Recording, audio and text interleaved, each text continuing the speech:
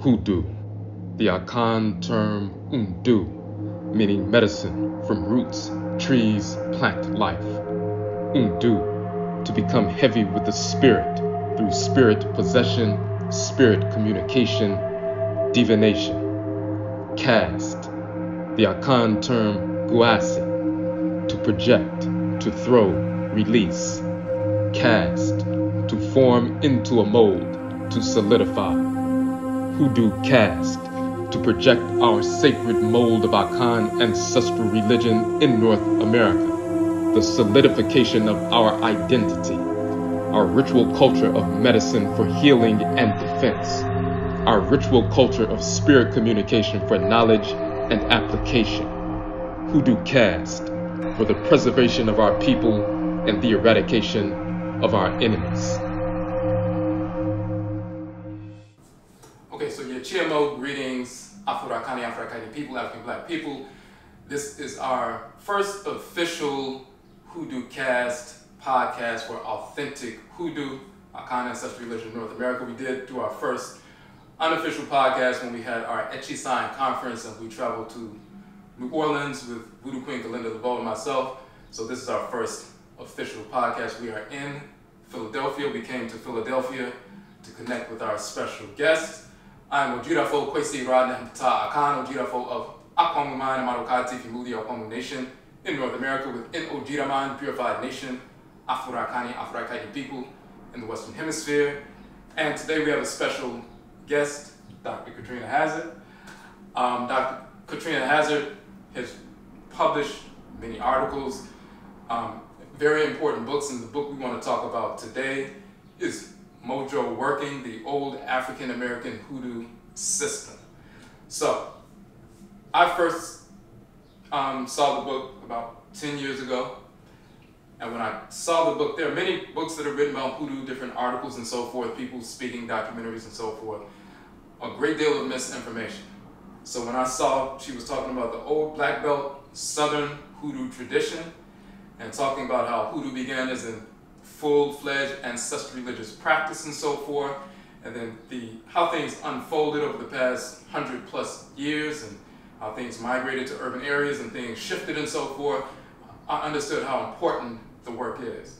So, um, well, first, appreciate you for coming out. Thank you for inviting me. And I'll say, uh, in fact, Dr. Hazzard came to our first Hoodoo Mayn Hoodoo Nation festival that we hold every year in Washington, D.C., so we really appreciate that. So the Mojo Workin', the old African American hoodoo system.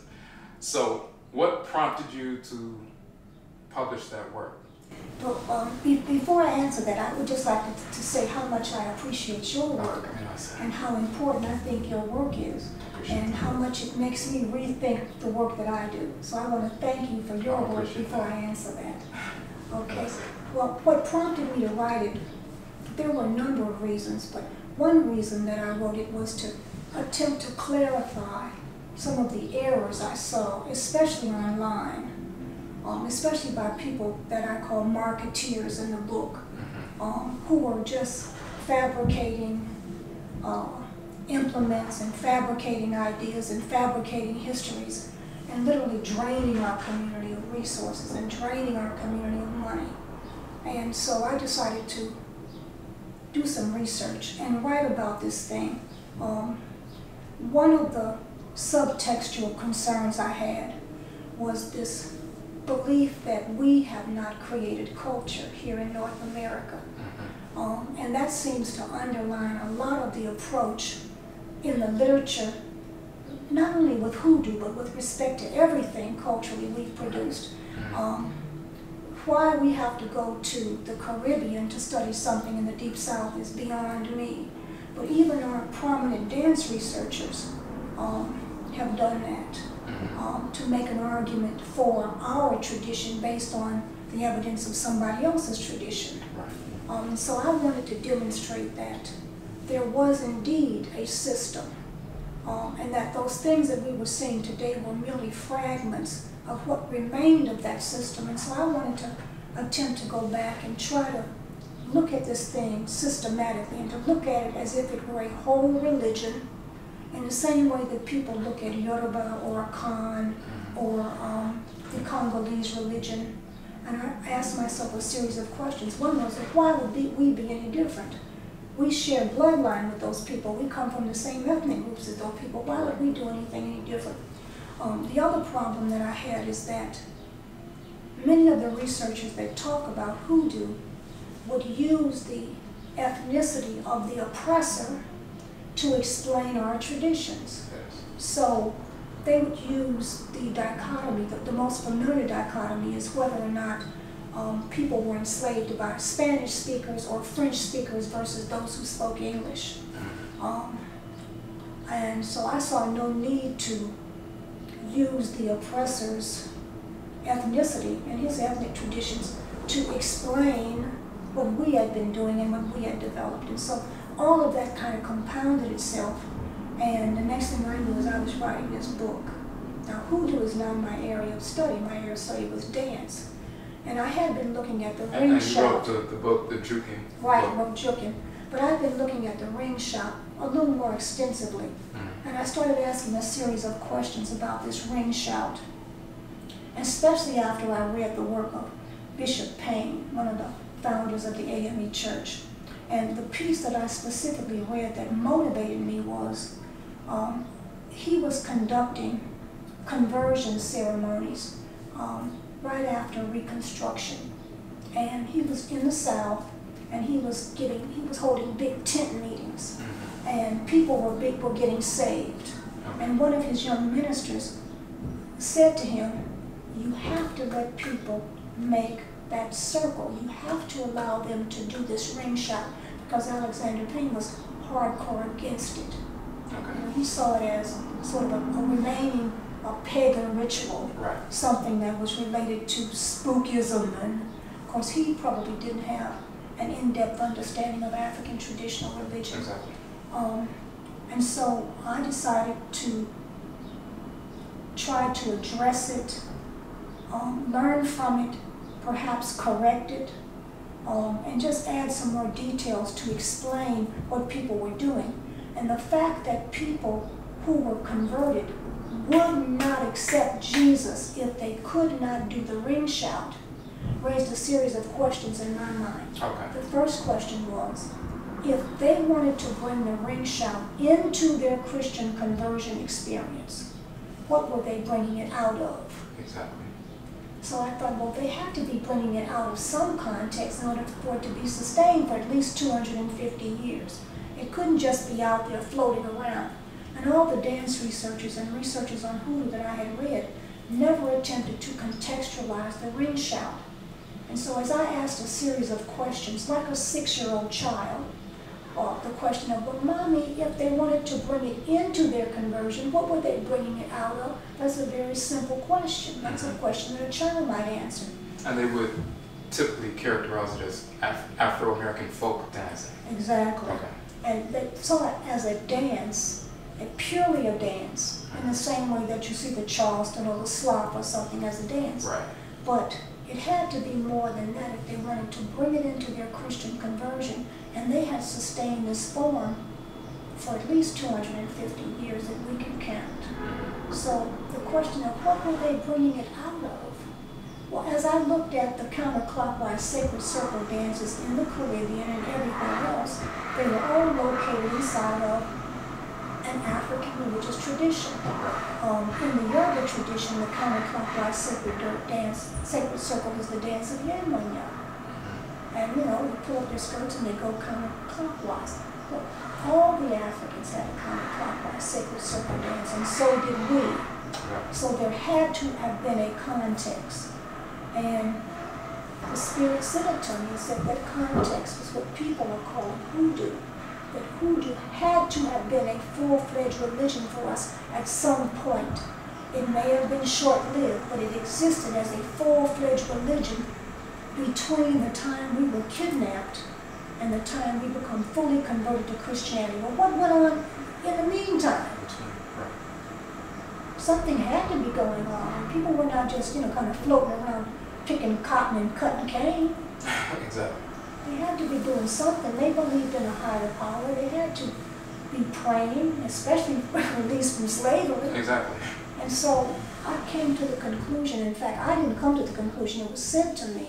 Mm-hmm. Um, literally, it was given to me. It was just was handed to me because I couldn't write without it. It, it. I had to wait for the Spirit to literally download, just like you download something from a computer. Um, and it said to me that this dance had a religious context, and that religious context was the old Hoodoo religion. Get on it. And I got on it. and that's you know that's what drew me because ten years ago you released the book. I think I I saw it in like the spring, you know, ten years ago. But just a few months before that, I didn't know anything about the book, but I had written the article, the first definitive article for for us, you know, from organization on the Akan origin of the term hoodoo. Because prior to that, I hadn't written anything on hoodoo.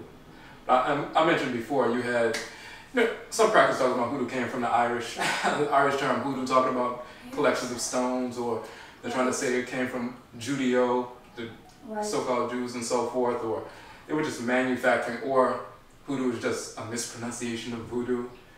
And my Nsamanfo ancestresses and ancestors were like, you need to write this article, and I started writing it just because I was provoked, as we talked about yeah. earlier. and that evening I started writing it, next thing you know, the sun was rising because I was still in front of the computer. Didn't eat, didn't move. I was just putting that out because it was so offensive and insane, the kind of things they were putting forward.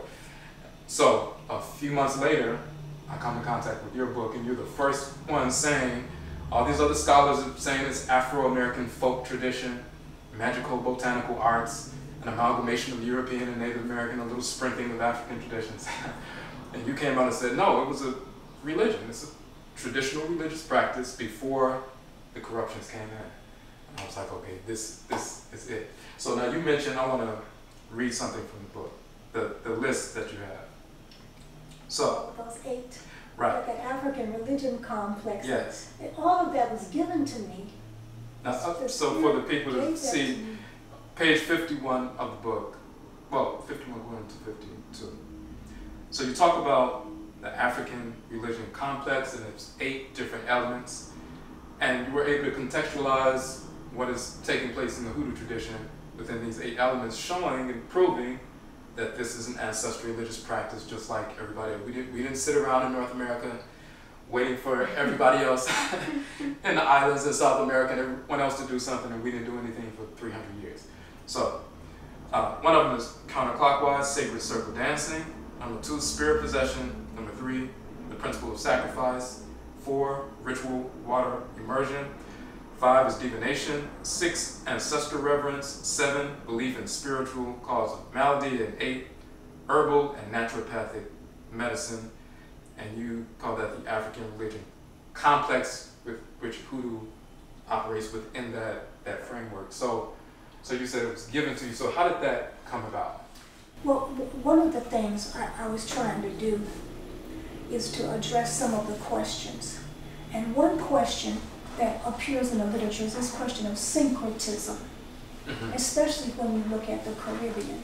And um, there are lots of people that have written about this, this syncretic meshing of African tradition with Catholic saints. Right. And because they were very similar, they had similar qualities.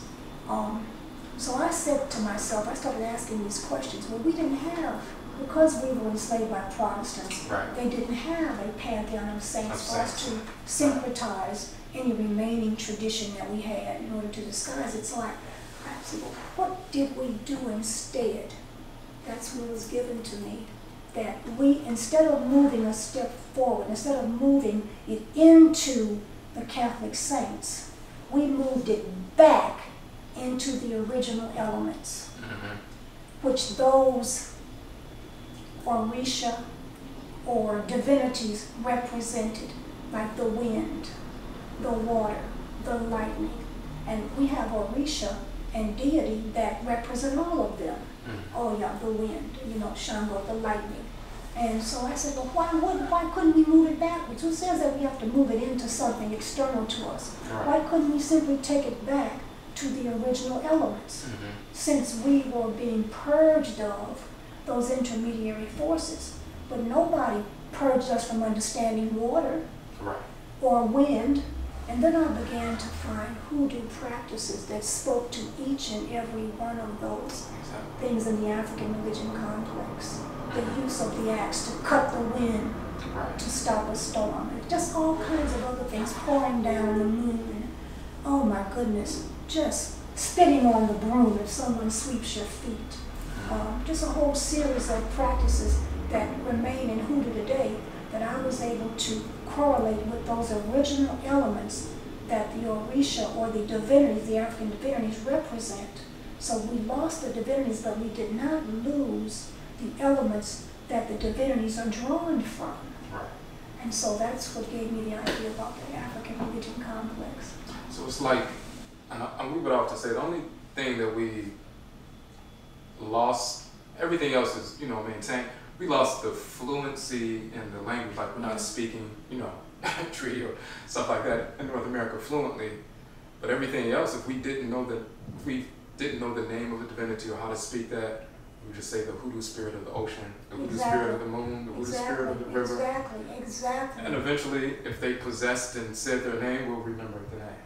But if they didn't, we- still the hoodoo spirit of the, you know. Exactly. But that, that, I'm reading that African religious complex piece, that for people who didn't, you know, for all these years have been writing about hoodoo as just a mispronunciation of voodoo, they were forced to reassess Yes. and see this is within the overall African ancestral religious complex. I, I can't tell you how many times I've heard that, that hoodoo was simply a mispronunciation of voodoo. Je- Jelly Roll Morton, they quote him as saying, well, some people call it, you know, voodoo, but we call it hoodoo. And some, because he said that, some people say, oh, that's, that's what it is.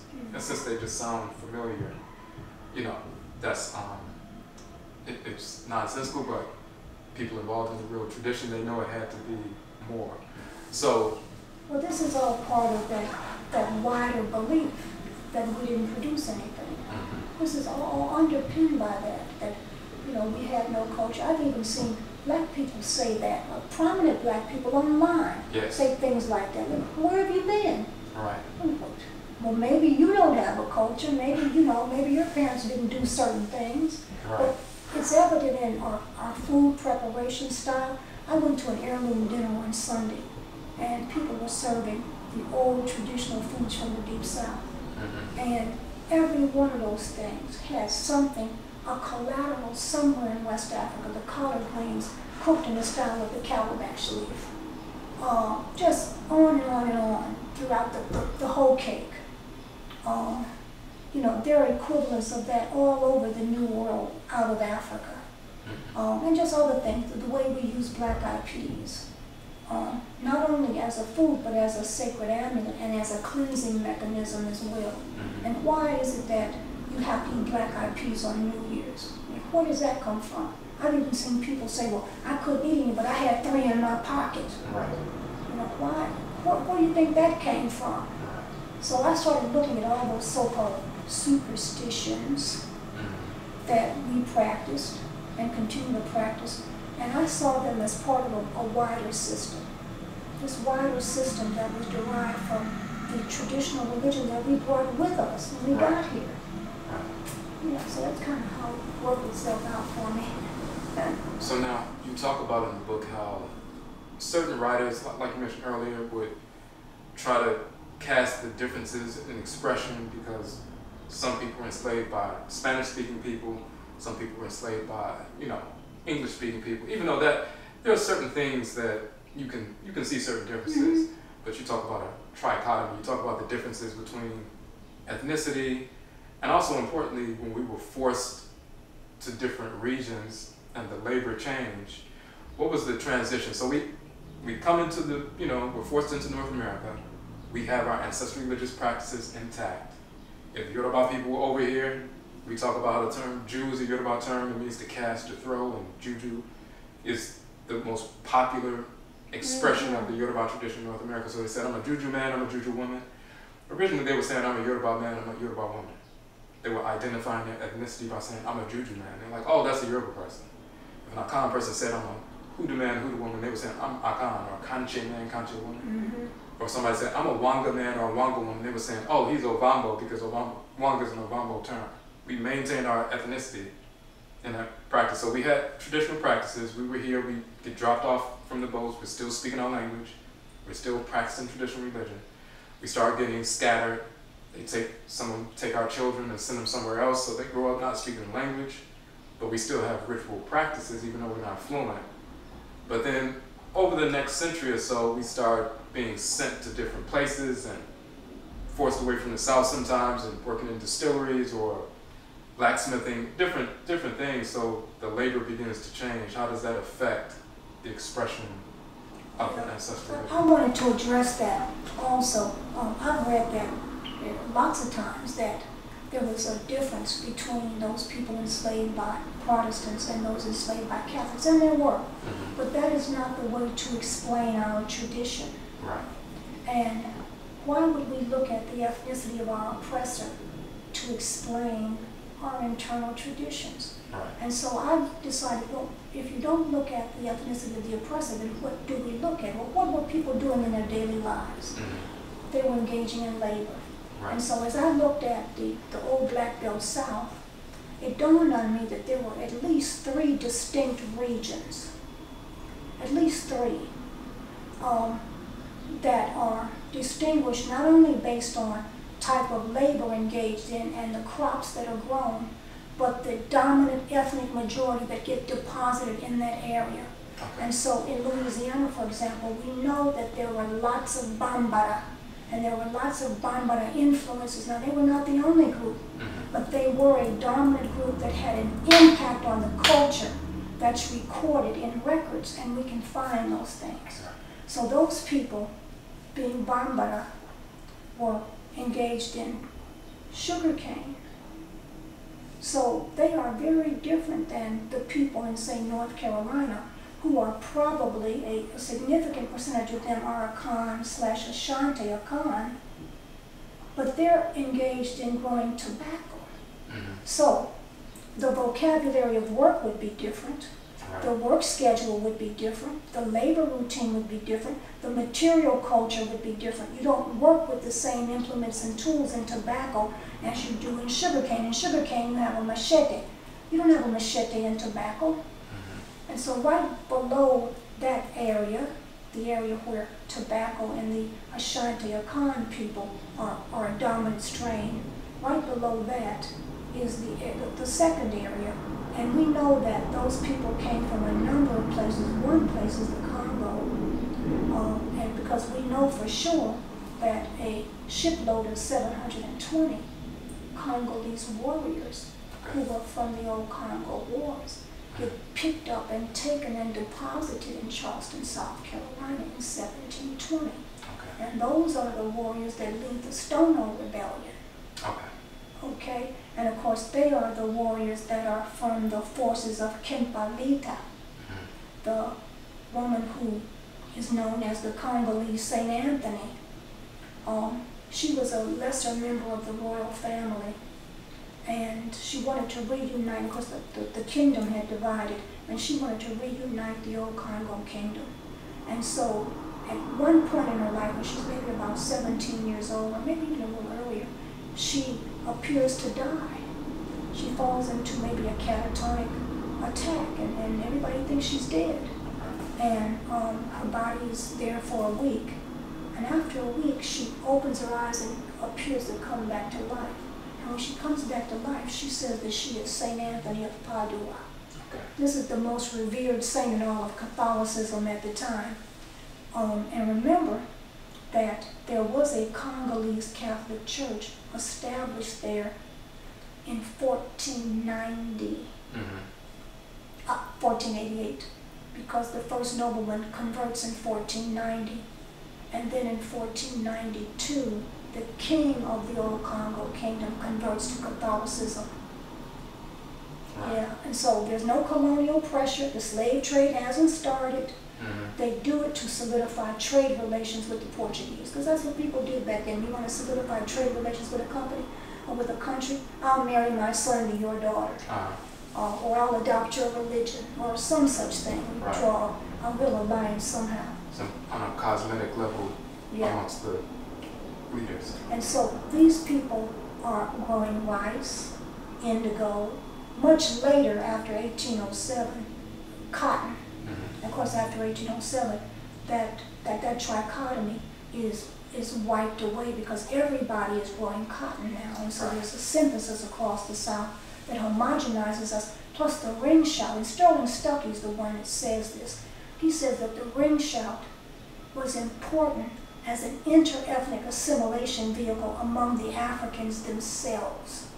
Because when they got off the boat, even though they might not speak the language of the people that are already there, they recognize that counterclockwise sacred circle. They say, oh, we got one of those back home. Mm-hmm. I can do that. And they fall into that circle. And that becomes the vehicle for the interethnic assimilation among the Africans. That's what makes us one people. Mm-hmm. That's why, you know, I'm not sitting here today saying I'm a Yoruba and you're a, a Congo. Mm-hmm. We're saying that we're, you know, Americans, we're Negro, Black, African Americans. That's what we're, we're, calling ourselves the same thing. Mm-hmm. And we see ourselves as members of the same ethnic group. And he says that the ring shout was instrumental in fostering that among us. So um, when I started working on this hoodoo thing, I looked at that ring shout. And it was given to me that it was the sacred dance of the old hoodoo religion because all of those traditional religions have their sacred dance. Why wouldn't we? Mm-hmm. So what would it be? Wouldn't be the Charleston. right. Wouldn't be the mashed right. potatoes, you know. What could it have been? Huh? The ring shout, the counterclockwise sacred circle. There it is, right in front of my face. Mm-hmm. Yeah. No, that's interesting because um, the first time I attended, like I, I attended Bembe's in the Yoruba tradition, whether it was you know traditional or you know uh, from people who've been initiated in Nigeria or people who were practicing the Lukumi tradition and so forth. So, you know, you would see the Bata drummers, the ensemble, and, you know, Olorisha be possessed and so forth at some point. People doing ritual dances for, you know, the different Orisha. The first time I went to an Akom in the Akan tradition, and Akom is the Akan term, Komu means to go within. So Ko means to go and move is within. So Akomu or Kom means to go within the spirit possession. So when they have the spirit possession dance. But in the Akan tradition, I noticed the Akom, which is similar to the Bembe, they have the Ocherima, they have the drummers. You know, the Okomfo or Abosonfo comes out, they become possessed by the divinities. But the whole ritual practice is dancing in a counterclockwise circle.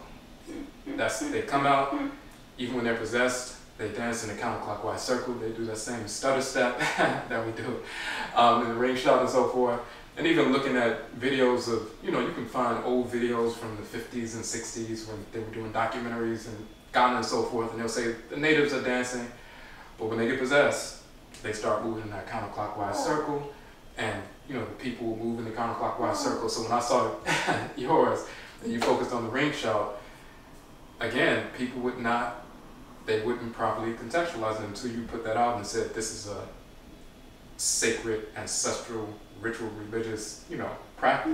Yeah. Most of the researchers refuse to acknowledge that we even had a religion, right. that we could even sustain a religion or anything even resembling a religion. And as I said, what underpins all of that is this notion that we didn't create anything, that we were robbed of everything, and it's right. just not accurate. Now, and in fact, what, what leads to that, so you talked about how the, the labor shifted, the some of the ritual practice, well, the language, of course, you know, subsides, but we still have this proper notion of we don't know the specific names, but we can still become possessed by the divinities when we mm-hmm. go to the water, stand up under the sun, the moon, earth mother divinities, and so forth. But then you talk about what took place between emancipation and World War One, when things started really shifting. So what, what happened with the hoodoo tradition when it started shifting from that period? Well, a number of things happened. What happens among outsiders is they start selling us our tradition back to us. Mm. Um, they're not as popular early on as they later on become. And in fact, they're probably not as popular among our people. I'm, I'm going to say prior to World War II. Okay. Um, and that increases as time passes. We lose more and we become more dependent on outsiders. Um, but not as dependent as we are today, mm-hmm. because we still had a core of conjurers. And in fact, in Du Bois's Philadelphia Negro, where he he has a list of occupations mm-hmm. in the black community, and he has conjurer listed, and he talks to five different conjurers. Okay. And yeah, which okay. like blew me away. It's like, okay. Mm-hmm. So these people literally said, I'm a conjurer. That's my profession. Exactly. They didn't say, they didn't attempt to hide it. Mm-hmm. They didn't attempt to disguise it. Right. Which says something to me. Which says that it was a widely accepted tradition. Right. Because they didn't feel like they had to hide it from him. Mm-hmm. I mean, why wouldn't they say, well, you know, I, I um, I, I, you know, plant crops for a living. I work on the docks. They literally said, I'm a conjurer, and that's the term they used. So it was definitely here. Um, we do get scattered, but there, there, there is a core of people that come out of enslavement that are conjurers, that are root doctors, that are our, I call them our priests, mm-hmm. because that's what they were. Right. And um, in there I say that they were a, a semiotic signpost for hope. Okay. Because you could always go to the conjurer for a solution. And, and in fact, people would, and of course, the best example of this is in Daughters of the Dust, mm-hmm. where um, Nana Peazant takes both the Bible and the conjure bag, mm-hmm. and she puts the conjure bag on top of the Bible, and she calls it the ancestors. And she said, the Bible and the ancestors. Mm-hmm. So we accepted that, and in fact, we would look at the Old Testament and literally convert it in our minds to a hoodoo document. Mm-hmm. Yeah. We're but it originally was not biblical. Right, exactly. Even though there are people that will right. tell you that it was. Right. I've seen people who, if, you know, if we were, some people say, well, you know, I've seen people say you can't practice hoodoo without the Bible. Now, clearly, we weren't, you know, we practiced in tradition for thousands of years. Even when we get over here, it was against the law to read, so we weren't practicing hoodoo the whole time until they let us read in the 1900s. So, you know, but, so, but they'll say it like in a declarative statement. But we do, of course, we're going to look for anything that looks familiar and say, okay, this is similar. And of course, when we look back, we published the Kuku Tum in fact, 21 years ago when we first published that. When we showed the deities from ancient Kemet, they stole ritual, you know, titles, sacred titles of different divinities and their functions, and manufactured the characters like Moses and Jesus, and eventually Muhammad and Abraham, Isaac, Ishmael, all of that. So we show how they Europeans invaded, the Greeks, the Romans, Arabs, learned about ancestral religion, started making white statues of black divinities. black people. Right, and start adding, you know, corrupted titles and trying to make us worship them. And then because of that, some of those elements of ancient texts from ancient Kemet end up in a fragmentary form in the Bible and Quran. And then hundreds of years later, when we get introduced to these things, we see something there, even though we know they forced this false religion on us. But we notice there's something in there. But then we can't just jump in and say, you know, there's no hoodoo without the Bible. yeah, I've, I've been told that um, by a so-called hoodoo worker. Uh, who I knew was white when I talked to her on the phone. But the ones that uh, the ones that I interviewed and talked to, the few that would talk to me once they found out what I was doing, um, all of them had black front men, black front people. The smart ones had black front people. Mm-hmm. Um, and I even interviewed a man here who had uh, hoodoo store for. His parents had it for 75 years. 75 he was, years. He was born in the store, he said. His name was Alan Silverberg. He's passed on now.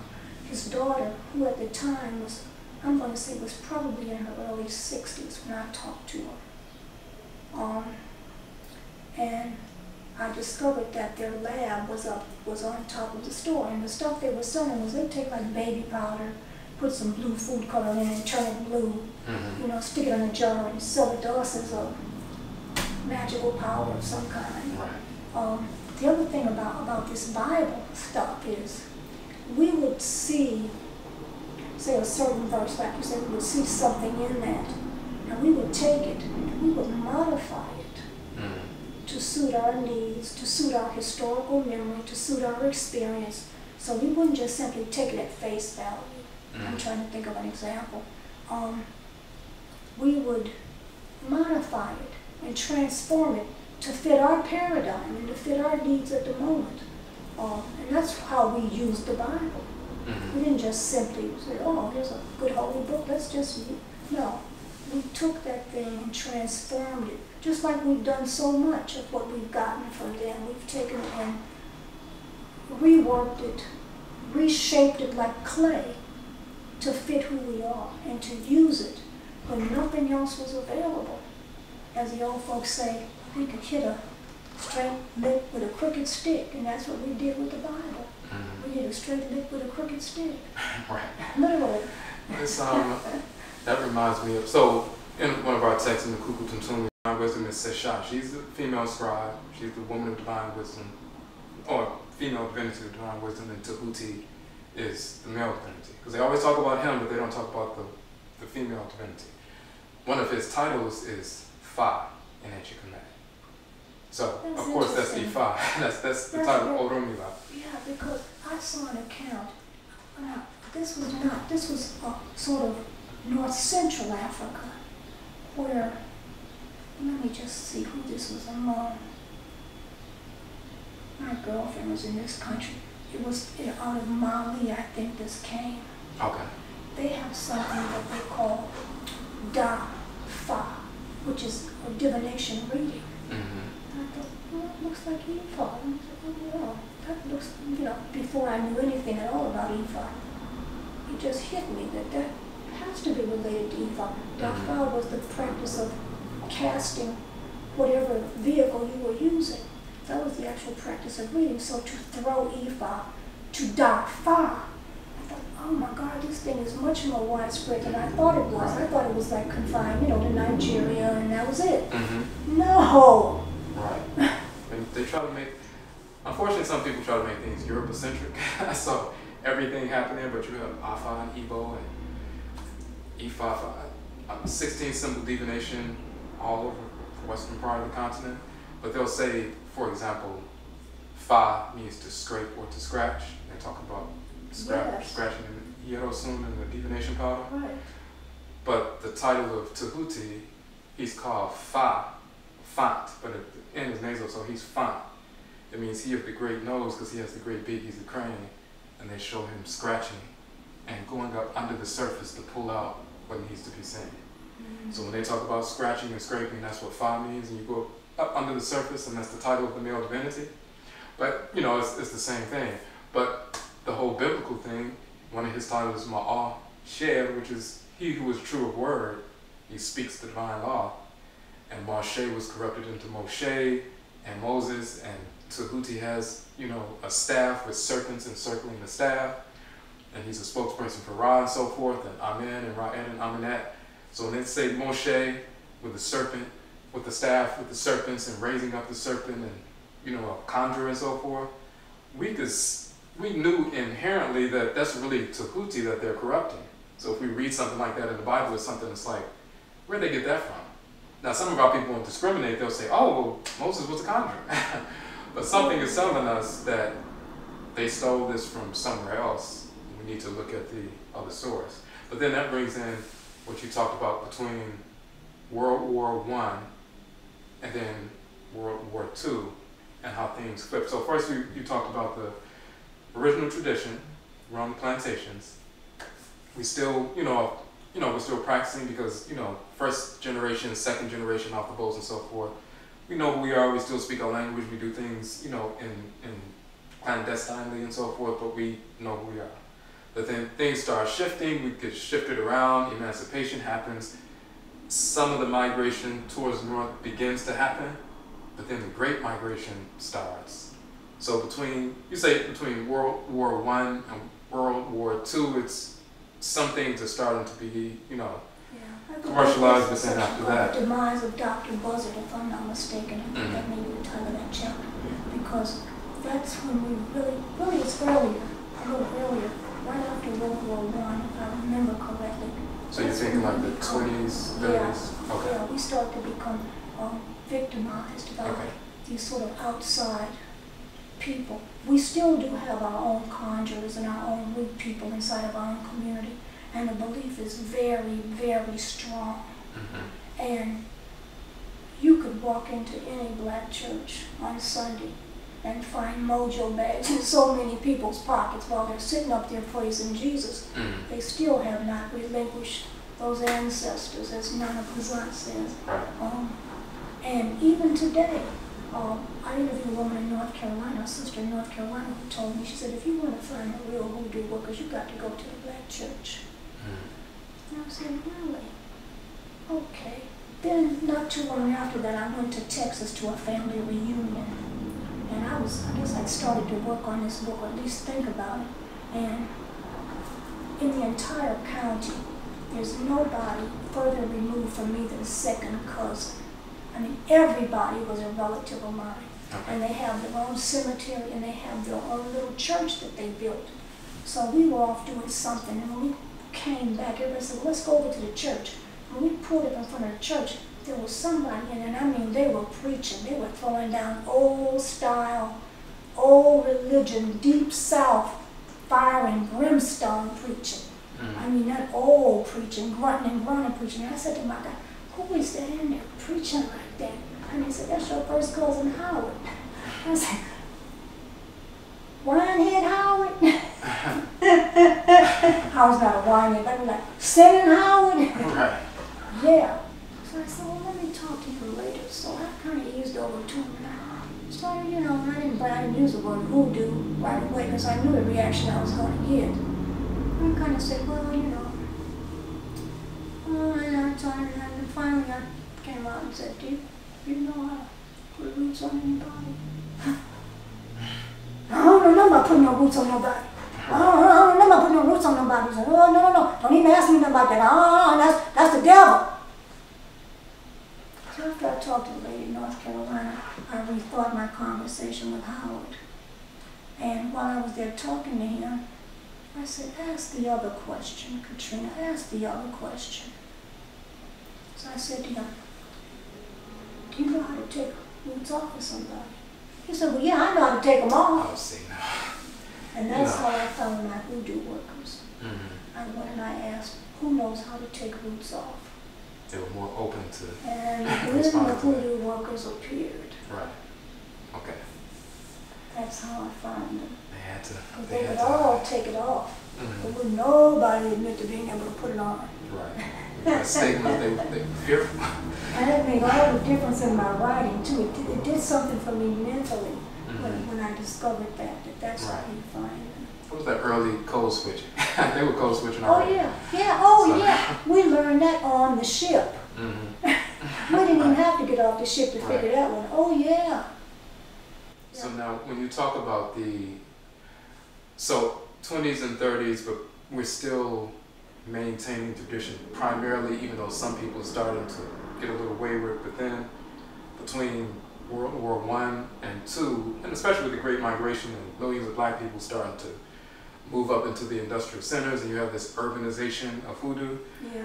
And then you talk about the marketeers, yeah. which was one of the you know that aspect of your and research is very other important. Thing, other things enter as well, like candle burning, for example, mm-hmm. which I think specifically comes out of Louisiana and the influence of the Catholic Church mm-hmm. with all those candles. Right. That that's just a guess on my part, but I can't think of any other place that we might have gotten that that candle burning thing. Mm-hmm. Um, and with, with the wax being the holding element, um, you know, for the power. And in fact, when I had some work done at Cuba, one of the things that, that he did, one of the things that the, uh, that the priest did was to use some candle wax. A white candle and drop the wax and sealed an amulet for me in wax. Mm-hmm. You know, and just shut it off from any contact with the outside world and made it airtight by using candles. And of course, you know, they're heavily Catholic mm-hmm. down there, so I wasn't all that surprised that candles came into play. But um, Cassandra Wims's work on candle shops, I think, does a really good job of talking about that particular manifestation of hoodoo, why hoodoo shows itself in these candle shops. um, between the two world wars, we really become scattered. There are still people in the Deep South who are practicing the old black belt tradition okay. at this time. And there's still a few there, um, even though during that period of time the commercialization of it starts to creep in. Mm-hmm. Um, and not only for us, but throughout the Caribbean as well. You get the same uh, hoodoo catalogs okay. being sent to people in the Caribbean, to churches in the Caribbean. Um, the way I found this out was to talk to a woman from Antigua who told me about the catalogs coming onto the island of Antigua when she was a child. She's probably um, 70 now, you know, or maybe a little older, maybe 72-ish. Um, I said, oh, um, I'm trying to remember the name of the people that published that catalog. It's a very prominent name in hoodoo. Like it's a name you see frequently. Um, not De, was it DeLaurence? Something like that. I don't remember the exact name. Okay. But they literally take over hoodoo um, and start. And this is mail order hoodoo for people. Mail order hoodoo you know. and start manufacturing this thing. Right. Um, and then you get the people that I call the marketeers, those who see the opportunity to slide right on in and make as much money as possible from us. Um, and they, you know, put on this persona, and sometimes they would wrap their heads up in turbans and pretend to be uh, Hindus, mm-hmm. um, or some such exoticized individual from somewhere in the exotic world. Um, and that was all to mystify the practice, to get our money out of our pockets. Right. And we still have a lot of them around today. Exactly. in fact, there may be more of them than authentic hoodoo workers because they are more difficult to find today. Mm-hmm. Um, some of the people I interview, I'm not sure how I found, ah, I know how I found Brother. No, I don't know how I found Brother Gregory. Uh, it was Queen Kit, Quet, Marquetta Goodwine, who took me, yep, who took me to to Brother Gregory. Okay. He is her cousin. Okay. And she literally took me to his house. Um, and that's how I think I met him. I think I called him though earlier, but the fact that she was able to take me there was mm-hmm. just, you know, an added benefit for me right. because she is his cousin. Okay. And he's the great grandson of the famous Stephanie Robinson, Dr. Buzzard, probably America's most famous hoodoo man who really had some white folks in the legal profession a little disturbed, a little upset. They were concerned about him. Um, uh, what really got the uh, attention of the authorities is when he started giving men a plant concoction that he had made that would make their hearts flutter when they went to take their selective service exams. Okay. And they would be exempt from service. right. And some of the white folks heard about it, and some white men came and got this thing from him, and they started doing it too. Mm-hmm. And I'm not sure how he got caught, but he got caught. And he was tried. He and another guy that was in the area, Dr. Bug, was his name, Dr. Bug. Mm-hmm. Um, was also tried, but I don't think that Stephanie Robinson was convicted. I think Dr. Bug was convicted, though he did serve time. One of the one of the charges that the hoodoo doctors would be hit with, and, and during this period of time, you get the solidification of the American Medical Association. You know, uh, toward the end of the 19th century, as we go into the 20th century, okay. the American medical profession sort of solidifies its power, and that is what kills a lot of the conjure women because okay. the conjure women would frequently disguise themselves as midwives. Okay. And right. I went through the midwife roles in North Carolina. And in fact, that chapter on healing the sick, raising the dead, hoodoo is health care, right. where I talk about the midwives. And of the 60 midwives that were operating in a particular county, only five of them were literally reporting that they had delivered babies. Mm-hmm. But if only five or six were delivering babies, what are the other 55 doing? Right. Walking around with these bags like they're delivering babies. Mm-hmm. They're working roots. They're working conjure. And the midwives were an essential part of the supply line because the the cauls, the veils. The babies are born with cauls. Right. The midwife could get that and give that or sell that to the conjure doctor. Mm-hmm. Um, also, umbilical cords and placentas were used in hoodoo, um, along with any bodily excretion, perspiration, urine, spit. All of that's believed to have spiritual power. So all of that was used. But the midwives were literally driven out of business. Not only the conjure women midwives, but the actual midwives were all, that's why we have mm-hmm. black midwives in America. And black midwives dominated the profession well into the 1950s. Mm-hmm. There were the only white midwives that I discovered as I was examining the country and looking for midwives. The only white midwives that I discovered were those that were Scandinavians in the northern part of the country, places like Minnesota, out in rural communities. Okay. And they had come from the old country, they'd come from Europe. They were not Americans. Mm-hmm. So it had been taken over, just like cooking was seen as Negro work. Right. And so you get this high culinary tradition being established by black folks, which nobody's willing to acknowledge. You know, but things like French fries, and solid ice cream and macaroni and cheese. All of that is brought to the United States by Africans. Uh, they bring that high culinary tradition because there was African royalty that was kidnapped. They didn't just take prisoners of war who were already slaves. Mm-hmm. Once the slave raiding starts, they don't care if you know if you're important in your country. Right. They need you in this Cottonville, nigga. Get over here. Mm-hmm. You know, it's a whole different ball game. So they scooped up anybody they could. And, and they brought important people. They brought engineers and priests and, you know, just a range of people that you find in the population. It but the, that during that period, once the midwives are killed, they also attack the undertakers. Okay. Because the black undertakers are also essential in the hoodoo trade. There was an entire mm-hmm. hoodoo network that was not only the conjurers, but midwives, undertakers, grave diggers were all part of that hoodoo complex, that hoodoo profession. The grave diggers, my God, they could get you graveyard dirt. They could literally dig up bones for you. Right. Um, you know, they were, and the, there were also black pharmacists and black pharmacy assistants that would smuggle things out. And I think that this thing with high John, the root itself, was in every apothecary because it was a laxative. It's a purgative, and you can, you know, get a, a, a what's that thing called? Um, that you a grater, and you can grate that root and take that powder, and you can find instructions on how much of it to take as a laxative. Okay. So it had real medicinal uses.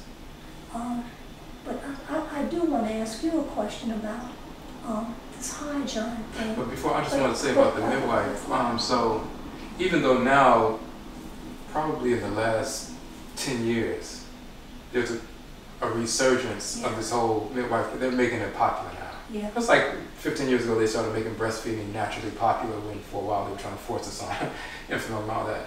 So you see people moving in that direction, and black women are becoming that saying midwife, black midwife societies and yeah, stuff like that. Right. Um, Finally. right.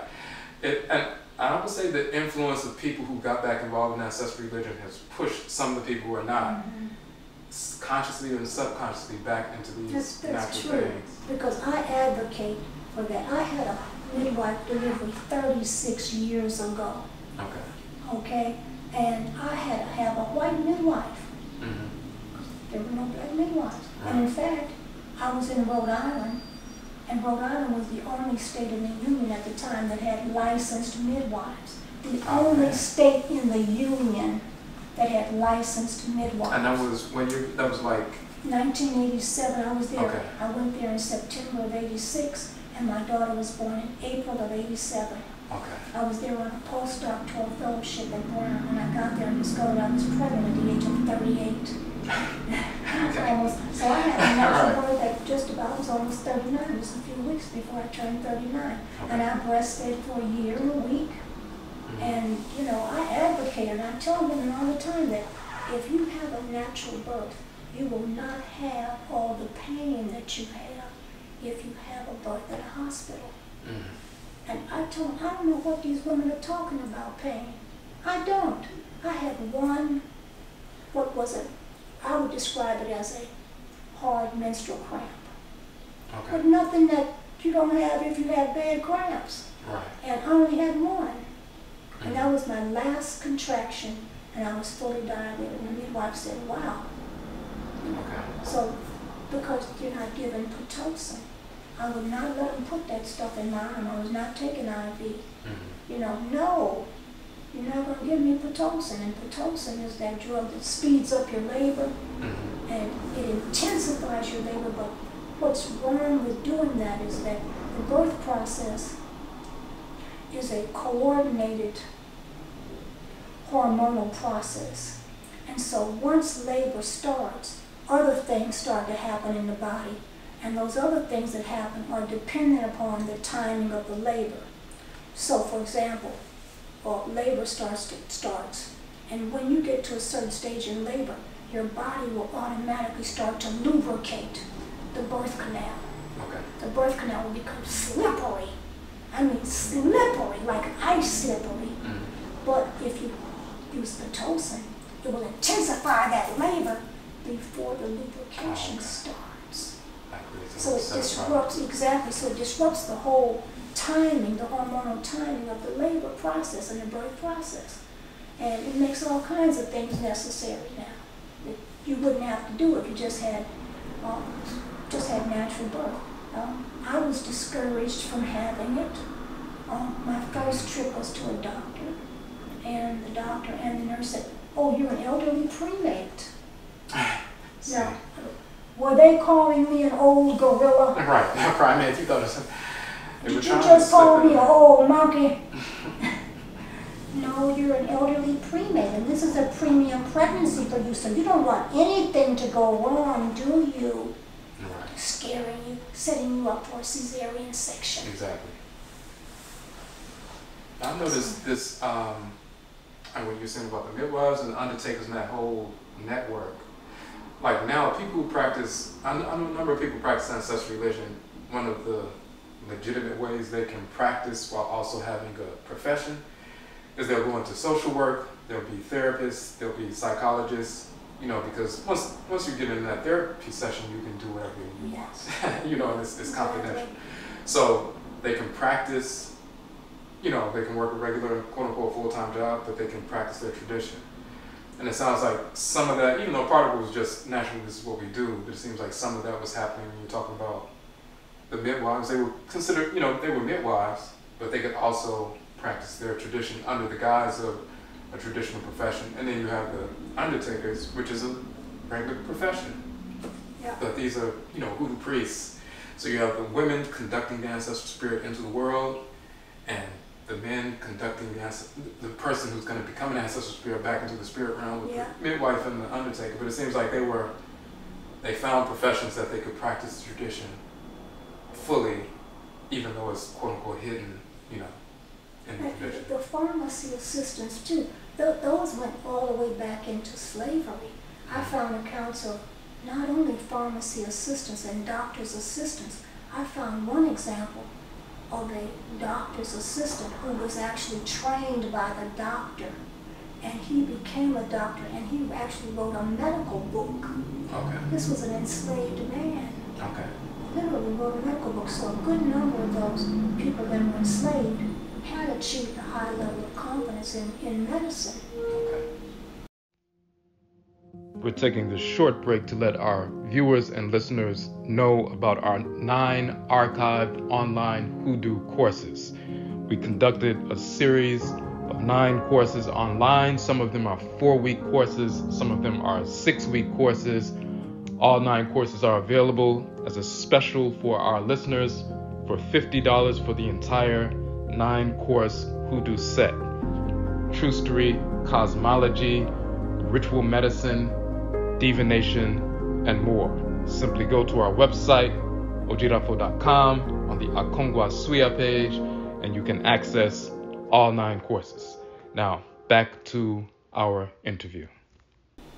Now I want to ask you. So now, talking about the midwives, undertakers, the whole network of traditional priestesses and priests. Really, that's what they were: hoodoo men, hoodoo women, conjure men, conjure women. Um, and even when you look in ancient Kemet, for example, the divinity Anpu, he's the one that governs the mummification process, so he's an undertaker. Mm-hmm. So they continue that whole whole tradition. But when we get into the urbanization aspect, who becomes urban, urbanized. On one hand, is you know wherever we go in the world, we have to adapt to the location. If it's snowing, we can't access or procure certain herbs and so forth. We have to figure out another way. So there's an urbanization process that takes place. But after, when you were talking about the Second World War, you get into the 40s, but then you start getting to the 50s, 60s, 70s. And then the marketeers really, you know, After to take hold. To they really get us. So now, and, and you know, there's kind of a resurgence of that with social media, Instagram and Facebook and so forth, and yeah. a lot of marketeers in our own community who, you know, don't necessarily fully understand the tradition. But um, one example that you use that we talked about, and I want you to expound upon, which really encapsulates the idiocy of people who are not really in the tradition, not don't have a blood connection to this tradition, no spirit genetic connection, but they're making declarative statements about what voodoo is and what it isn't. Um, well, first, before we get to that, when we look at um, publications like the Hoodoo and Conjure um, work, the multi-volume set by Middleton, oh, yeah.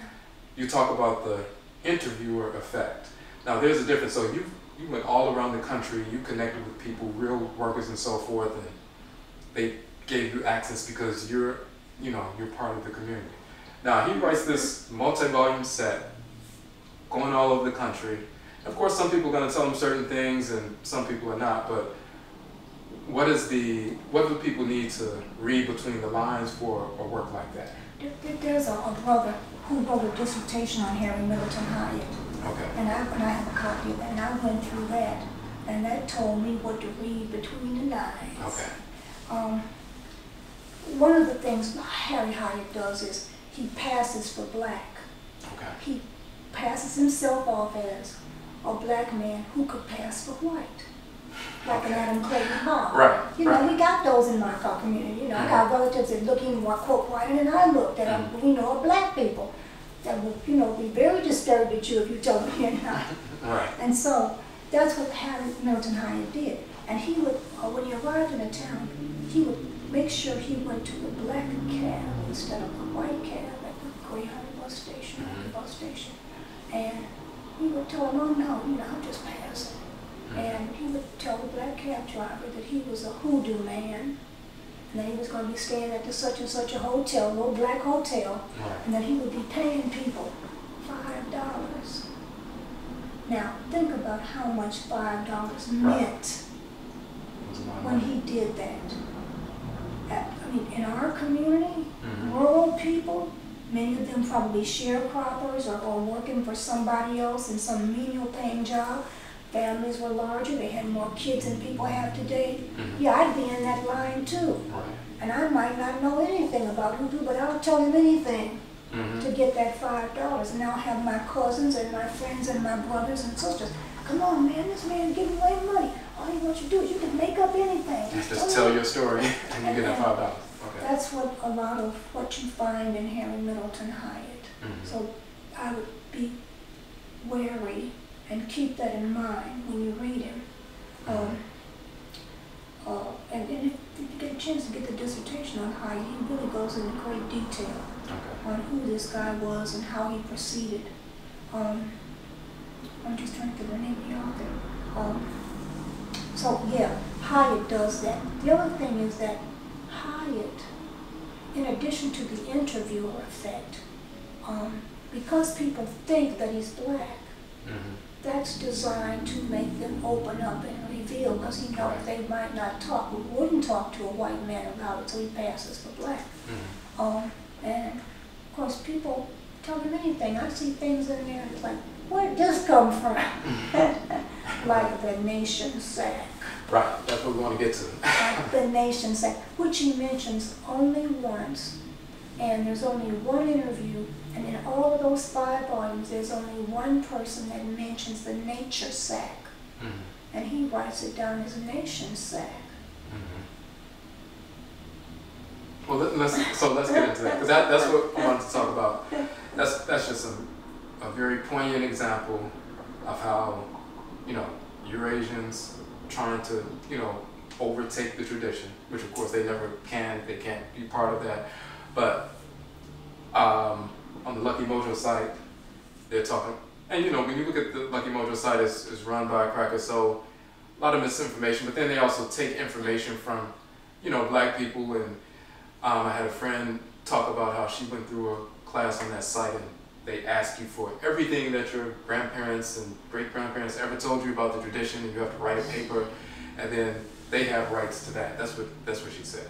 So they're taking stuff from our people and we're paying them to give them our stories. They take the information, put it on a website, act like they're authorities, but there's so much misinformation. So she you look on the site and she talks about a, a nation sac and that's designed to impress people right. with, the esoteric nature of the knowledge. Right.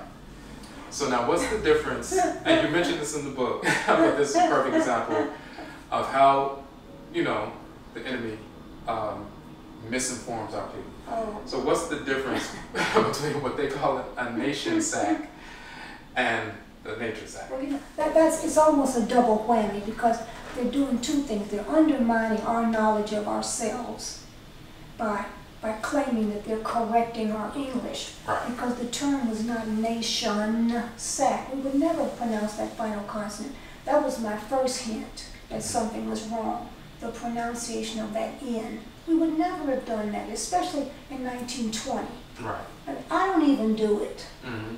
And, and when I'm talking to just regular folks, none of them do it. Right. So that was my first suspicion. Um, secondly, but this can't be the correct name. What could this person be talking about? So I began to say the word, the term nation sac over and over again in my head and out loud as my great grandfather would have said, Papa. But everybody said, oh, you know, Papa's just old rice eating Geechee. You know, Papa can't talk right. So I began to say this over and over in my head. Nation sack, nation sac. Ah, that's when it dawned on me that they were talking about the old hoodoo nature sac. Mm-hmm. Yipes. And they corrected our English because, you know, we don't know how to talk. Right. we haven't been talking, you know, for, for beginning of times, right. right? You we just, oh, I don't know how it gets across, but we just, you know, we can't talk. Mm-hmm. right. So they correct our English. And there are numerous examples of that in, in the research literature um, I want to go into, but that example about the, the Mr. Kugler, mm-hmm. um, one of the things I did, and whenever I come across that, I try to go back into my great grandfather's head and try to pronounce it as he would have pronounced it, which will bring me closer to the material if it really existed. Mm-hmm. Um, there are a couple of other things I try to do too, but that one mainly to just see if I can come up with a term that I heard the old folks using and I certainly wouldn't talk about nature sac. Right. And that was something that was generally only tied by women. Um, I never heard of a man tying it because it's it's um, gender specific. It's used by women to control their their, their man's um, what's the term I want um, not just virility but their loyalty mm-hmm. um, to them. It's to prevent him from having sex with other women, basically. Um, and this nature sac is supposed to do that. It, it's supposed to fix the man so that he can only get an erection with his woman. That he will not be able to achieve an erection with any other woman. And that's the idea behind the, nation, the, the nature sac. And the term for sexuality or virility, as the old folks use it, was nature. Right. You know, and that's when it dawned on me. She's talking about a nature sack. She's got this thing all wrong. Of course, what really kills me is when I see people online saying they know how to make one. I know how to make a nation sac. Right. And that is what they know how to make a nation sac. Because they right. don't know how to make the old nature sac. Because right. I haven't seen the instructions correct yet. Mm-hmm. And I knew a woman that knew how to do it, Miss Mary, who I interviewed for the book. Who, she's the person that told me that it had to be tied during sex. You know, it's not anything you can go to, you know, I'm going to do it and you're over there somewhere next week. It has to be done during the sex act. Right. Or it's not um, efficacious. It, you know, it's not supposed to work.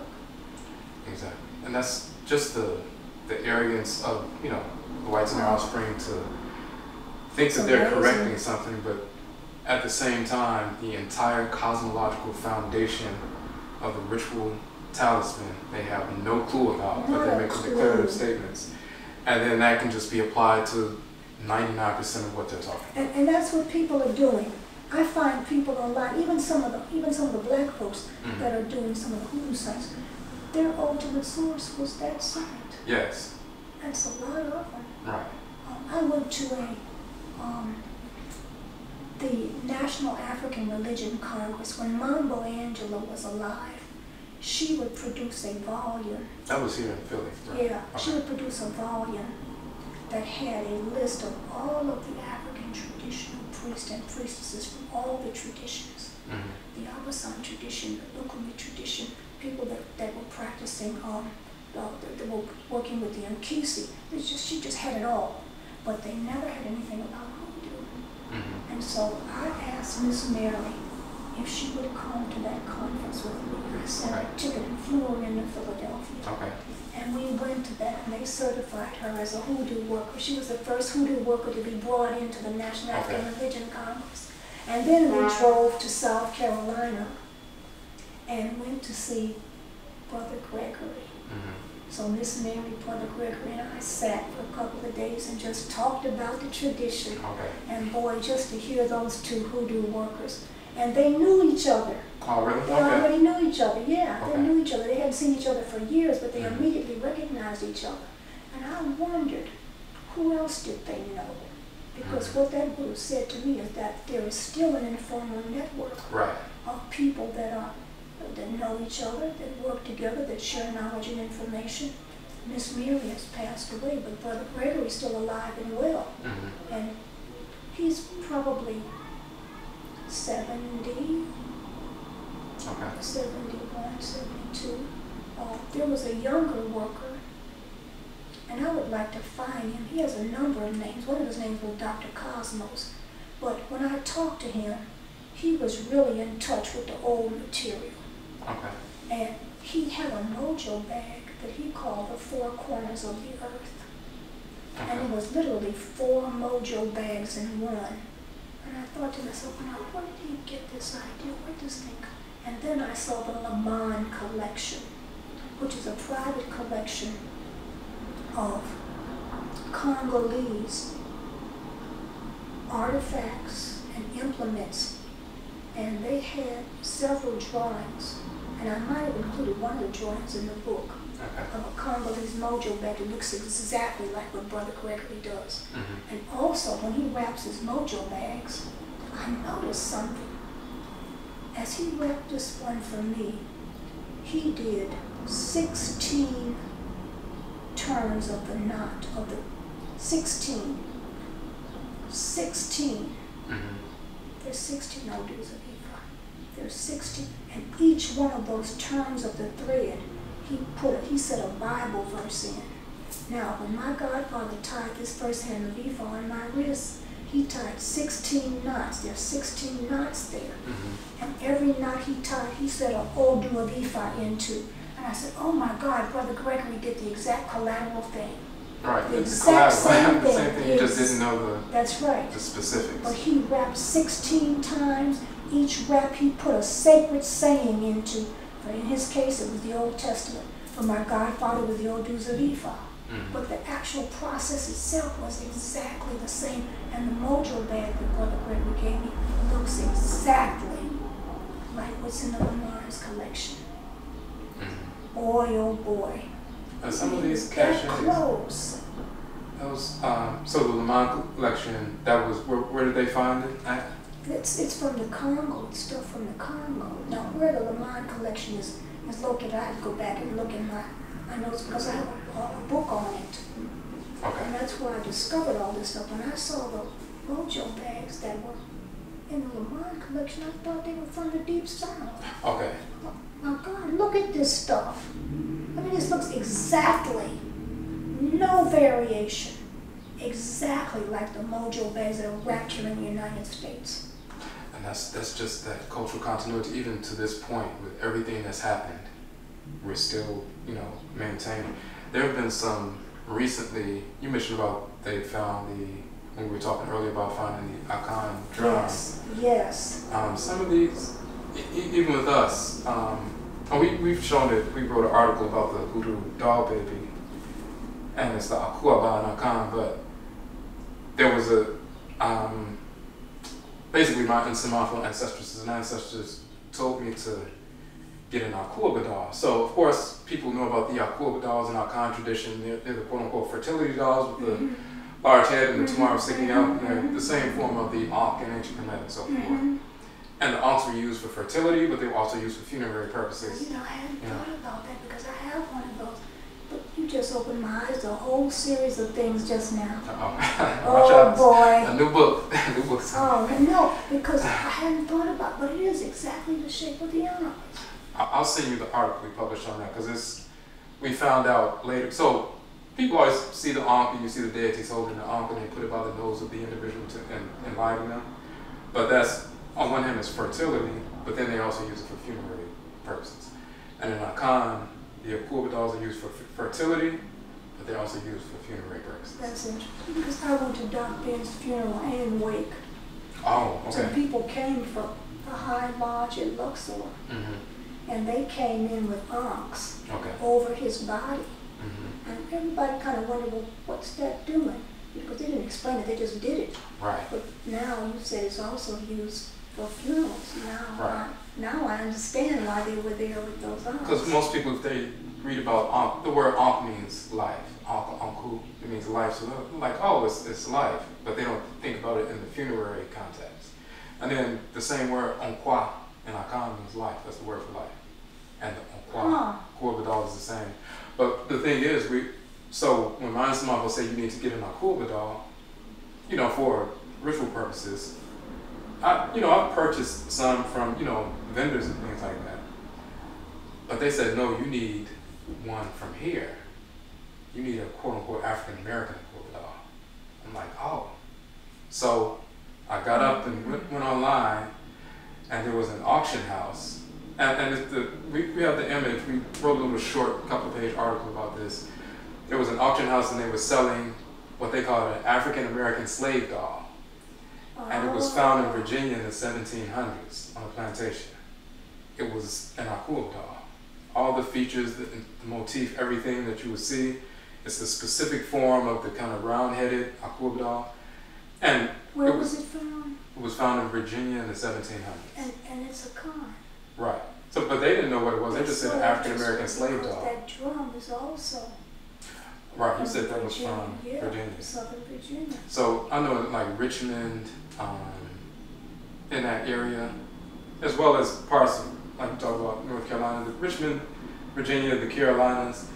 There was a, lo- a lot of our of people went to tho- those areas and were, you know, enslaved in those areas first, as well as some people in Alabama and stuff like that. But that region, even if you look on Ancestry.com and people doing their genealogical charts and so forth, but also utilizing the DNA, they'll talk about the mid-Atlantic coast, quote-unquote African Americans, and they'll talk about how a large population of Akan-speaking people were forced into the Virginia area, North Carolina, That's South Carolina, Washington D.C. Right. That drum that is in Dena Epstein's book, that's an Ashanti slash Akan drum. I mean, that's the actual drum. Mhm. So yeah, there probably was a big population of Akan people in Right. southern Virginia, maybe northern North, that whole area. Mhm. Maybe even over into Tennessee, because Tennessee and North Carolina used to be the same state at one point. And Before they, or, or before they start separating things Yeah. out, and before they became like a, um, incorporated into Virginia, it was just that that territory. But that's um, people are starting to pay attention. It made me pay attention when they told me to do that. I found it online. They were selling it for five hundred and fifty dollars. um, one of our elders in our Essie saw it and, and purchased it. So we retrieved it, but that's an ancestral Oh, Akan yes. artifact, and we have it in our possession inside our shrine. But people are starting to pay attention and look in these different areas. Sometimes you'll look in the newspaper and they'll say they found this cache of, you know, ritual items in the plantation in Maryland. Mm-hmm. Now we know what we're looking at when we see that. And just like you can do some archaeology on the continent or ancient Kemet mm-hmm. and you know, unearth these artifacts. We have our own archaeology. We have oh, our yes. own artifacts, and we need to, you know, grab those. I had the chance to go down to the University of Maryland. In fact, um, I give thanks to some people, and I thank him for the afternoon and the lunch. Um, there was a professor who had conducted an archaeological dig. Okay. And they had all the artifacts there at the University of Maryland at College Park. Okay. And I went down there. And when I got there, they had all the artifacts laid out on these huge tables and they had them laid in the position that they found them in during the dig. Okay. So they had some things were in the north corner, some things were in the south corner. And mm-hmm. when I walked up, they asked, they said, tell us what you see. I went there to get information from them. They were getting it from me. I had no right. idea. They didn't know anything. I thought, okay. you know, they got this, whoa, I need to go down and see that. Right. Um, there was a little blue bottle Okay. And there was something in it. It was some kind of ball of something. So I don't know if it was a dead insect that had dried up in there or if it mm. was a pebble. What it didn't sound like a pebble when I shook the bottle. But when I saw that glass bottle, the first thing I thought of was walking boy. Mm-hmm. That had to be a conjurer's walking boy because that's what the divination device, the walking boy, was. Mm-hmm. And, you know, it was hung from a string it was a bottle, and it worked like a pendulum. But apparently there was something in that bottle, like an insect. My guess is that it was an insect or some kind of worm or something mm-hmm. that could make that bottle move. Right, to give it that divinatory yeah. function. And so they would hang it, and it would do its thing, and this insect would make the bottle swing in certain directions, and they used that as the reading device. It was called a walking boy. Mm-hmm. Uh, and I think, I mean, I could just literally imagine seeing the conjurer with this thing in his hand, handling it just like the Opele chain. Right. That's exactly what came to mind when I when I first read about the walking boy. I thought, oh my God, that's supposed to have been exactly how the Opele chains, because it's hung from the finger and it's kind of allowed to swing freely. And the Opele chain is before it's dropped. Mm-hmm. But boy, oh boy, there's a lot more there than we are even willing to recognize. Right. But part of the problem is also is that we don't know anything about the traditions that preceded this stuff. So many people don't know how to contextualize it. If I were not familiar with the Opele chain, I wouldn't have been able to say anything about the right. walking boy. Right. And I also noticed that once I got initiated into Yoruba, that gave me, I said in the book, an additional set of grips with mm-hmm. which to handle hoodoo. Right. And it did because it gave me an African traditional religion that I could bounce it off of, mm-hmm. just to see are there are there collateral forms or something that might re, that might resemble okay. collateral forms. But yeah, there are collateral forms, just like that ring shout and that, that walking boy. And I think there are other things too. Mm-hmm. Um, I've been curious about about this High John thing. There had to have been a collateral form, the original form on the continent. And when we get here, we don't find that. Why we don't use buckeyes more, but we do use buckeyes and horse chestnuts, similar to the way that we carry the High John roots, because I've had a lot of old black people ask me, to go get them some Buckeyes when I was a kid. Go over down the line, bring me some of them Buckeyes, baby. And my granddaddy would not be caught without Buckeyes in his left pocket. In fact, I've got all my daddy's Buckeyes at home right now, mm-hmm. right on the ancestor shrine, the ones that he carried in his pocket. And as I went through the, the I went through the Florida Negro. That was that piece put together by Zora Neale Hurston, and it's in the okay. archives down there in Tallahassee the original manuscript. Uh, and as I went through Florida Negro, I saw photographs. And then I went through um, Newbell Niles Puckett's, photographs. Newbell Niles Puckett's papers are in Cleveland, Ohio, in the Cleveland Public Library. Okay. And so I had a chance to go through some of those boxes, and I saw numerous photographs in both instances of black folks with buckeyes. Okay. And I suspect that they were using that as a substitute for some root plant that was sacred in the homeland. Mm-hmm. Um, why High John becomes what it becomes is still, a, it really became a question after I read your piece on High John. So how did, I, I was able to explain how it gets out of Mexico because it, it, only grows one place in the world. It's only mm-hmm. native to Mexico mm-hmm. and only native to a particular region in Mexico, Jalapa province, which gives the root its name or, or it gives the area its name. And this guy, Gaspar Yanga, was actually executed in a jello field. And so I suspected that that was the, the one of the models because I found some semblance of a rebel leader that couldn't be broken that had a strong connection to Africa. That, he was not the only one I found. He was just the only one I talked about because he's so famous. Yeah, but I famous. found it in um, Bras Coupe was his name because his arm was cut off. Mm-hmm. You know, Bras and French is arm. Bras Coupe, cut arm is what he was called. But he was a famous Maroon in Bayou St. John, right off the coast of Louisiana. He set up an entire Maroon community. Mm-hmm. Um, he was eventually captured, executed, and it said that people took bits of his body when they could get it and turned it into Grigri.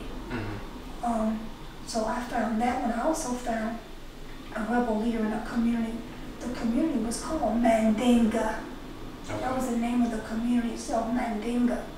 And so I found more than just High John. Apparently, this was more than just a trope. These guys appeared wherever the circumstances demanded it. Right. That's uh, like for example, we talk about Nyama or Jama Kakadu in, in the article. Yes. That's um. So you have the Akwamu people. So the Asante is the largest Akan group. Then you have the Akwamu, who's a subgroup. They're not as big as the Asante, but at the time they had a big empire. Before the Asante Empire became big, the Akwamu was the big empire, military empire, and so forth the Akwamu Hene, the Akwamu king, had a lieutenant. He was the Asafo Hene, which means the mm-hmm. warrior chief, basically. And that was Nyama, was called Nyama or Jama and so forth. Him and his people were captured and sent to St. John's Island in the Caribbean.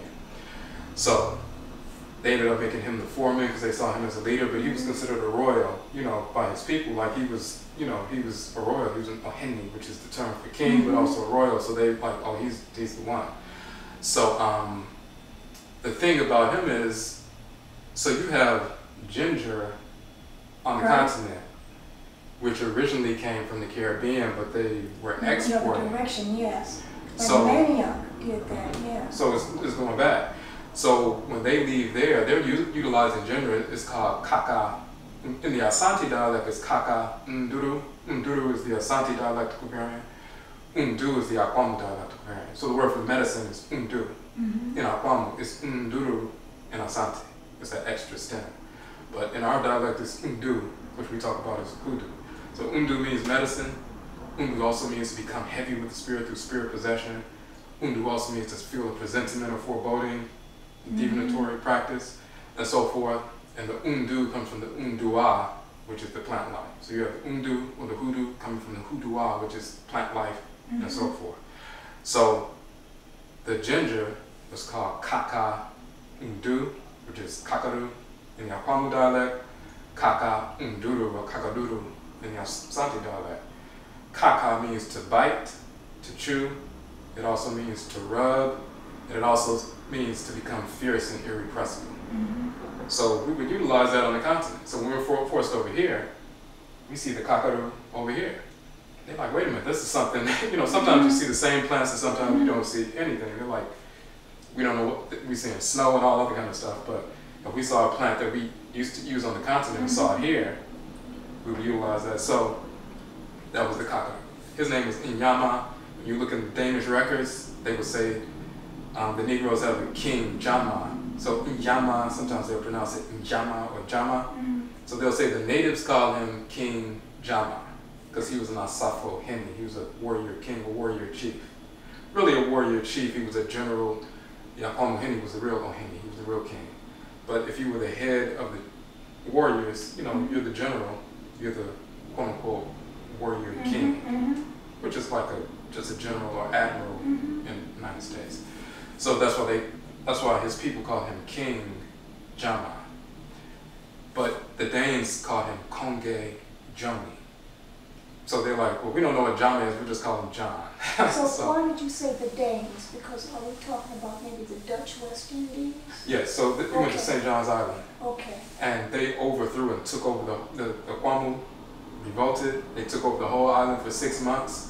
And they were planning to make that the western outpost of the Akwamu Empire. They were like, well, we got it. We're in control.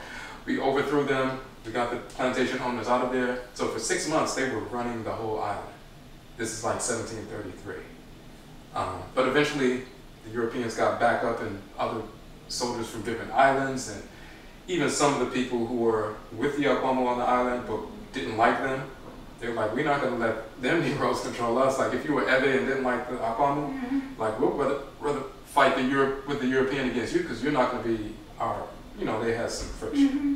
So they ended up ending the revolt.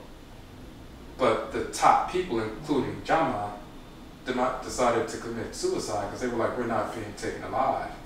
But he said his spirit would go into that mm-hmm. plant. So he was one who was irrepressible, you know, ferocious and so forth. The plant is literally the kaka ndu or kakaru, which is the chewing root. Kaka means rubbing root, makes you fierce and irrepressible. So Jama Kakaru became, they called him Joni or John. So in English they would say King John the Danes would say Konge Joni. So it was Joni Kakaru. What's so interesting is that in some of the blues songs, it's actually pronounced Kakaru. Right, so they'll say, I got that Johnny Kakaru. That's the Akwamu dialect, Chama Kakaru. But if they spoke Asante, they would say Kakaduru or Kakaruru. So sometimes they say Kakarurut, or sometimes they say Kakaru. That's Kakaru or Kakaruru. They have the Asante dialect, and the Akwamu dialect, depending on the blues singer. Some say I got that Johnny Conqueror, some say I got that Johnny Conqueror. We say Jama Kakaru or Jama Kakaruru. That's the Asante dialectical variant and the Akwamu. So, how, so my question is, how do we, how does that, you know, this may just be, like I found numerous high johns or numerous um, rebel leaders who, the ones I found were executed mm-hmm. and left a bit of their rebel spirit in a plant. This may have been something that happened in more than one place. Well, yeah, because the, the his name his name in Yama is also the name of a plant totem. So just like we have animal totems, mineral totems, plant totems, of course we're the human totems for the deities, but the Inyama plant was connected to the Inyama deity in the Akan tradition. And is that ginger? Is that the ginger? Or? Well, it they ended up having to replace the okay, Inyama so plant. What, does, what is the Inyama plant? it's a, there's a certain scientific name. It's, it's in Ghana though. It's not here. Okay. Um, I may have referenced the so-called scientific name in the article. I'll, I'll check. Okay. I think I put it in the article. I'm just wondering because the question that I had to grapple with when I was trying to find the Congo, which why the chapter is called The Search for the Congo, mm-hmm. is how that specifically, I was intending to bring you a High John. Okay. I kind of went off and left it, but you could come over and get it. Okay. Um, I have a few little roots I've just given to certain people. Oh, I appreciate it. Uh, and the fact that this thing only grows, is only native to, you can plant it in other places, but mm-hmm. it's only native to this region in Mexico. Oh, and in the 17th century, there were more African slaves dropped in Mexico than any place else in the New World, mm-hmm. including Brazil. Mm-hmm. Um, and so at one point, that was the center of the slave trade world. Um, and it grows native there in abundance, it said.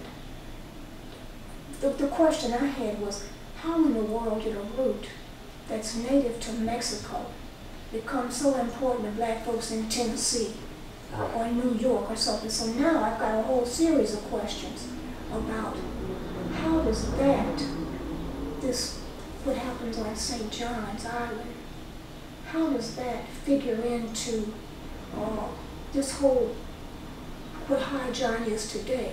Because that was ginger. Why aren't we carrying ginger root? I mean, what, where's the disconnect? This is my question. What, what is lost? And one of the things I had to figure out, if I was going to say that, that this thing came out of Mexico, because that seems to be the only place I could find it growing, and all the literature says it's only native to this place. Mm -hmm. How does this thing get out of Mexico into the United States? And that's when I began to search for how. And once again, it was given to me Walter Johnson's book, Soul by Soul, Life Inside the New Orleans Slave Pens. Mm -hmm. That's when I figured this thing out, that it, Louisiana is owned by the French. Uh -huh. They lose it to the Spanish. Right. And the Spanish hold it for 39 years mm -hmm. before it goes back to the French. In that 39 years, the Spanish changed their center of commerce from Seville, Spain to New Orleans, Louisiana. Mm-hmm. And they started trading slaves from the entire Spanish world through the slave pens of New Orleans. So Africans from, you know, Peru, mm-hmm. With the Spanish in Peru, are shipped up into the slave pens of New Orleans. Right. And that's when I said, oh my God, that's how it could have gotten out of Mexico into the black American population. Yeah, in the slave pits during the across. So how could this thing have gotten from St. John's Island, which was probably not that difficult to figure out because people were traded all over the place all the time, even even slaves who were colonized by an enemy, uh, colonial power, were still traded. Mm -hmm. So um, in those slave pens in, in New Orleans, there were slaves that listed their birthplaces as Peru, Mexico, right. oh hell, Cuba. Oh my God, just you know, wherever the Spaniards were, there was somebody in those slave pens in New Orleans that listed their birthplace. And the way I found it is Gwendolyn Midlo Hall, was Harry Haywood's wife. Harry Haywood was a okay. famous black communist. He married a white woman who was a communist. Mm -hmm. And she just died this past year. In fact, she died in Mexico. Um, yeah, she had put together a 150,000 point database on ancestry and genealogy in Louisiana. Oh, okay. And I couldn't get the database to work on my computer, so I called. A friend of mine knew and gave me her phone number. And she said, go to your computer, put it in. And then she said, hit some, some, and she hit some keys, and when I hit these keys, up on the screen popped an entire slave list. Mm-hmm. Of some slave manifest of people coming through those New Orleans slave pens. Right. And all I had to do was look for the ones who listed their birthplace in Jalapa, Mexico, mm-hmm. Who had been born where John is supposed to have put his spirit into this root called Joe. And oh my God, that's how it could have happened. That strain of it. How could it have gotten from St. John's being ginger? And that may very well be the ultimate origin of it. Because people did take things and use them and transform them and adapt them to their own needs. Yeah, just like the, you know, Obi, Obi Bata. That okay, switch it for coconut. Exactly, for coconut. Because they didn't have access. But yeah, I can see how the job group made it from Mexico. But there's one one example we give in the book. Who, who, who controls St. John's Island? Was it, it was Dutch? Right. But so St. John's, so you had St. John's, and then a couple of miles away is St. Thomas. Mm -hmm. And St. Thomas was a little bit more developed, but they were trying to develop St. John's at the time. So they would drop the enslaved people off at St. Thomas, and then they would ferry them over mm -hmm. to St. Mm-hmm. John's. So after this happened, and they took over the whole, that was the first major revolt before Haiti happened. Because okay. it's 1733. Okay. Then they took over the whole island for six months and they were running it and this, you know, sent shockwaves throughout the plantation owners because they started trying to pass a law to say we will not bring anybody enslaved from Akan states because they're too prone to revolt. And they were they almost passed that law like we're not going to the quote unquote Gold Coast to get them Negroes because they're always going to cause a problem. But so they would drop them off at St. Thomas, ferry them over to St. John, and try to develop that as a new you know plantation. But about 30 plus years after that happened, and that was a major thing because they took over. Um, one of the residents of St. Thomas, he ended up purchasing his freedom and he left St. Thomas and went to Charleston, South Carolina, and that was Denmark Vesey. And of course he very believable. That's easy to see. So and of course he, you know, he organized the major revolt in South Carolina. So, but we use that as an example of somebody who was popular, who left the Caribbean and, you know, came into the United States. But then, of course, there were other people who were enslaved and they were forced up here. Exactly. Now that, now that I think about that, a lot of us were traded out of the Caribbean into the into North America and back and forth. Mm-hmm. And what I discovered when I was looking at this uh, um, Spanish American thing is mm-hmm. those Spaniards traded slaves all over the Spanish Empire, oh, yeah. even yeah. as far as the Philippines. They even right. sent some Africans to the Philippines. Spanish speaking area. Yep. Forcing and, and everywhere, and they would, like I said, take people out of Peru and send them to the slave pits in New Orleans, and the mm-hmm. next thing you know is they're sold into Florida. Right. And then when Florida becomes a state, you know, then that's the end of that story. Right. Um, so I, I got to think about this thing now. Yeah, but that, that whole notion of there was so many people who, you know, and it's a common thing for either the person who's, you know, the hero, he's the, the leader and so forth, you're not taking me alive, they would either say, my spirit's gonna go into my patriclan or matriclan totem. So if they were from the, uh, say the Bretuo clan in our clan tradition, the matriclan animal totem is Osebo, which is the leopard. So they'll say my spirit is going to the leopard. So whenever they see a leopard, that spirit would animate that leopard to attack the enemy. But sometimes they would say, my spirit's going to go into our plant totem. The divinity who's connected to the plant totem that's associated with our patriclan and matriclan. That was a common thing to say, you use this, this root. It's not only going to connect you to the patriclan ancestors and ancestors, but I'm about to be one of them. So you can call me through the plant totem. That makes perfect sense. So then, like you said, it'll be a, a, a bunch of warriors in Jamaica and North America, wherever it happens, somebody's going to be the one who got killed. They'll say, if you use this plant that's connected to this matriclan or patriclan, you can evoke that ancestral spirit quickly. Just like we use a picture, you know, put it on a mm-hmm. shrine. We didn't have pictures. we couldn't make sculptures at that point. We would take the root that they use. or just like sometimes now people will take a piece of clothing from somebody mm-hmm, or something like that. Mm-hmm. We would take the root that was associated with that clan, and then we can evoke the ancestral spirits associated with that root. So we'll would have been a bunch of people, you know, and get okay. So we're gonna go ahead and wrap it, but we can we, we can always do a part two. we can always do that. I appreciate you for, you know, well, I appreciate the fact that, that you asked me. no, I appreciate that. So, um, we're going to wrap it here. This is uh, the Hoodoo Cast podcast for authentic hoodoo. I'm Odwirafo. And check our website for our upcoming podcasts, broadcasts, events. We also have our Patreon community, the Hoodoo Cast community. You can join that uh, Patreon community and you will see um, all of the information on the website hoodoocast.com. We are streaming on all you know major platforms.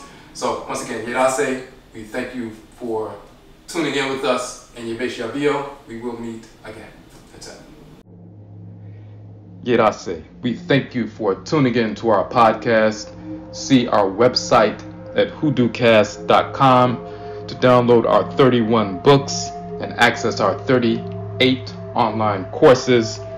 See our Hoodoo Cast Patreon community for all exclusive content and also use our HoodooCast hashtag on all social media platforms. Yebeshia.